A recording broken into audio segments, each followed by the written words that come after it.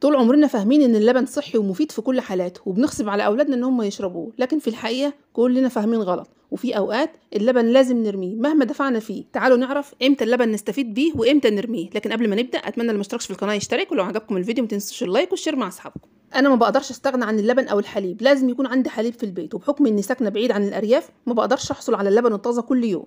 وبعتمد بشكل كبير على اللبن المعلب بحكم إن هو أنضف وأضمن وكمان متوفر طول الوقت. طبعا كلنا عارفين إن اللبن المعلب ده بيكون معامل معاملة حرارية خاصة يعني بيتعرض لدرجات حرارة مختلفة. واللي بنعرفها ببسطرة اللبن أو تعقيم اللبن ودي بتخلصنا من البكتيريا والجراثيم والميكروبات اللي بتكون موجودة في الحليب وبتقضي عليها بنسبة 100% لكن في قواعد أساسية لازم كلنا نعرفها وإحنا بنشتري المعلبات من السوبر ماركت ومش بس في الحليب وفي العصاير وفي أي معلبات.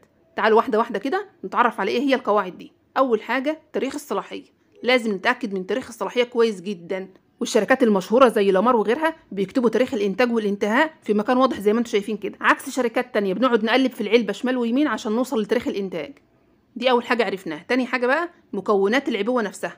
اتأكدي من المكونات إن هي طبيعية 100% وتشوفي بقى لو فيها إضافات صناعية هتناسبك ولا لأ. وأهم حاجة إنها تكون خالية من المواد الحافظة. تالت حاجة بقى الغطا. لازم يكون الغطا سليم ومش مكسور. ورابع حاجة شكل العبوة نفسها. يعني تكون بشكلها الطبيعي. لو هي مستطيل تبقى مستطيل لو هي مربع تبقى مربع. ما تكونش فيها بقى أي انتفاخات ولا مطبقة ولا فيها حتت مخبوطة ولا أي حاجة. يعني بالظبط زي العلبة اللي أنتوا شايفينها دي. أما بقى لو العلبة دي اتغيرت وبقت بالشكل ده اوعوا ابدا ابدا تشتروها. حتى لو كانت رخيصة. طالما العلبة شكلها اتغير كده استحالة تشتروها. العلبة دي شكلها متغير خالص عن العلبة اللي على اليمين. شايفين عاملة إزاي؟ والعلبة المنفوخة دي أنا ما اشتريتهاش كده. ده هي عملت كده عندي. أنا كنت شارية كمية كبيرة ولقيت في وسطهم العلبة دي بعد فترة. يعني ولا المكان اللي أنا اشتريت منه ولا الشركة المنتجة مسؤولين عن الشكل ده.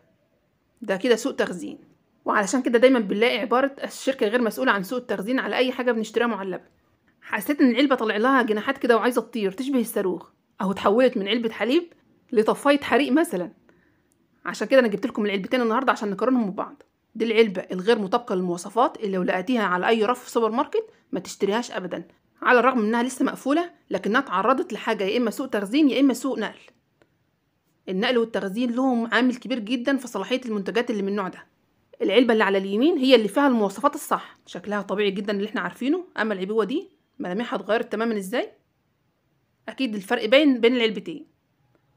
تعالوا بقى نعرف إزاي النقل والتخزين ليه دور رغم إن العبوة لسه تاريخ الصلاحية بتاعها ساري زي ما أنتم شايفين كده تاريخ الإنتاج بتاعها لسه هينتهي في 12 2022 أنا بأكد لكم على التاريخ أهو ما انتهاش ولا أي حاجة. لكن ممكن أكون أنا عرضتها لدرجة حرارة عالية في المطبخ مثلا أو قربتها من البوتاجاز علشان زي ما أنتم عارفين العلب المعلبة دي ما بتدخلش الثلاجه غير بعد ما نفتحها. وممكن كمان تكون تعرضت لسوء تخزين في المخزن نفسه. يعني ممكن تكون درجة حرارته عالية نسبة الرطوبة فيه مختلفة. اتعرضت لأشعة شمس أثناء النقل برضه ممكن تكون اترصت طبقات فوق بعضها أزيد من اللازم. علشان زي ما أنتم عارفين العلب دي بتكون جوه كراتين. ممكن بقى صف الكراتين ده يكون أكتر من اللازم.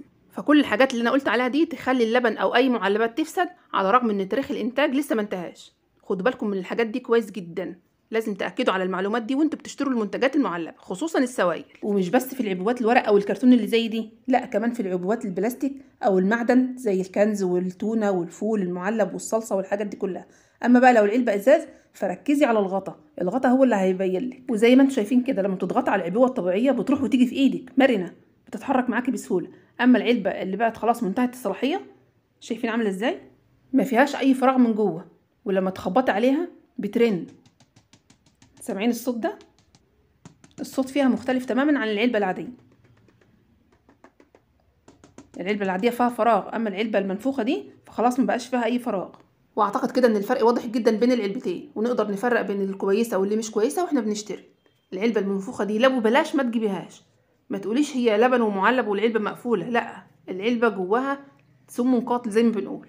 بأكد تاني اللبن اللي في العلبة اللي على الشمال المنفوخة قوي دي غير صالح للاستخدام الادمي بالمرة. ما تقوليش بقى إن هي رخيصة أو ممكن نستخدمها في معجنات أو كيكات أو تستخسري إن أنت ترميها.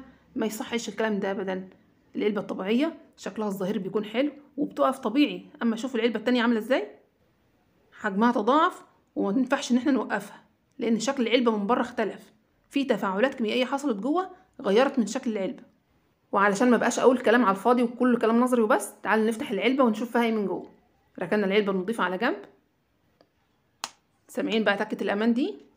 تأكد لكم إن العلبة مقفولة وأنا ما عملتش فيها أي حاجة قبل ما أفتحها. شوفوا بقى اللبن بقى عامل إزاي. تشرش. وده يأكد لكم إن اللبن خواصه اتغيرت وتحول من لبن حليب للبن رايب طعمه سيء جدا. شايفين؟ المفروض وأنا قلبت الازازه كده مكونات العبوه كلها تنزل لكن ما نزلش عشان الحليب خلاص ما بقاش حليب بقى حاجة تانية خالص. شايفين؟ عايزه أقول لكم في الوقت ده أنا دقت اللبن الرايب ده طعمه سيء جدا الحموضه فيه عاليه جدا جدا.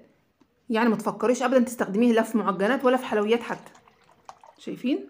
مكونات العلبه مش راضيه تنزل خالص إزاي؟ اللي نزل بس الشرش. وعلشان بقيه مكونات العلبه مش هينزل من الفتحه دي هجيب المقص ونفتحها عشان نشوف إيه اللي حصل للبن من جوه. علشان كمان نعرف إيه الفرق ما بين اللبن الرايب واللبن الفاسد أو منتهي الصلاحية. وطبعا كلنا عارفين اللبن الرايب بيكون طعمه وشكله عامل إزاي والقوام بتاعه كمان بيكون عامل إزاي. أما ده بقى في حاجة مختلفة خالص يعني ولا هو حليب ولا هو رايب. في الشكل والملمس يشبه الجبنة أما في الطعم فهو حاجة سيئة جدا.